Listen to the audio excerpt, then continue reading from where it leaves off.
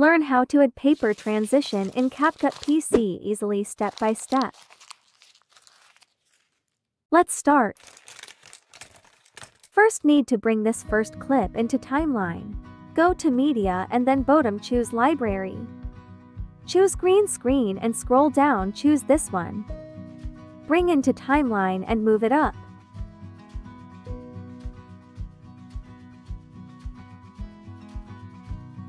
Increase scale.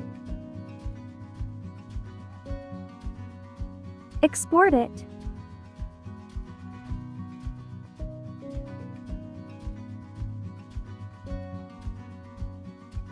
Delete timeline clips. Import the exported clip into CapCut. First need to bring this first clip into timeline. Then bring the exported clip or second clip. Move this exported clip up. Bring third clip into timeline.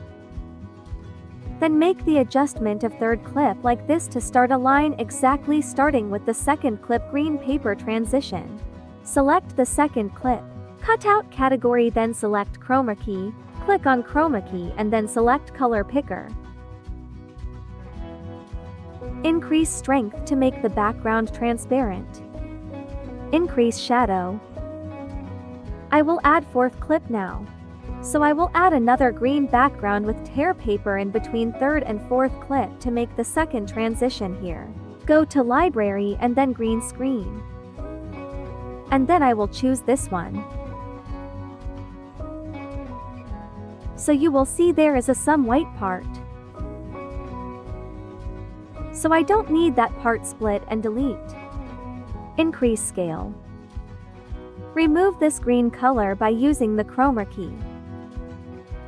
Click on chroma key and then select color picker and increase strength to make the background transparent. Go to basic and scroll down choose mood brighten. Go to speed tab to decrease the speed. Go to animation in. Slide right. Increase duration 1.7 second.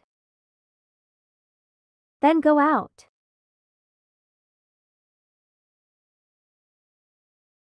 Choose fade out and increase duration to seconds.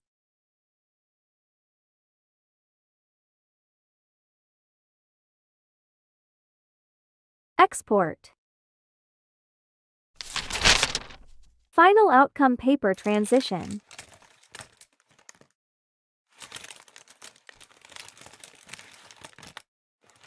Thanks for watching see you in next tutorial. Please subscribe to reach 1000 subscribers.